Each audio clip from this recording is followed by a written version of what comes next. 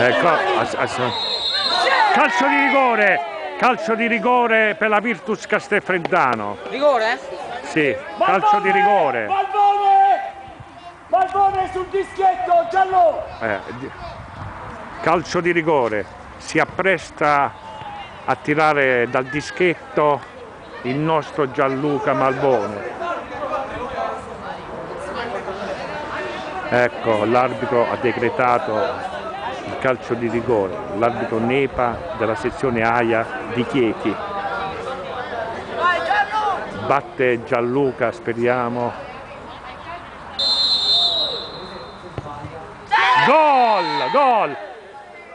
Pareggio della Virtus Castelfreddano, 3 a 3.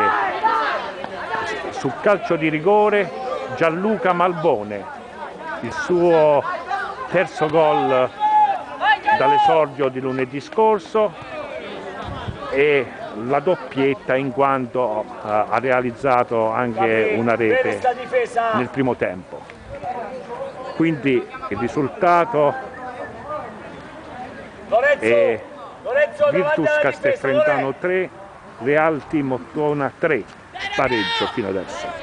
Un pareggio meritato.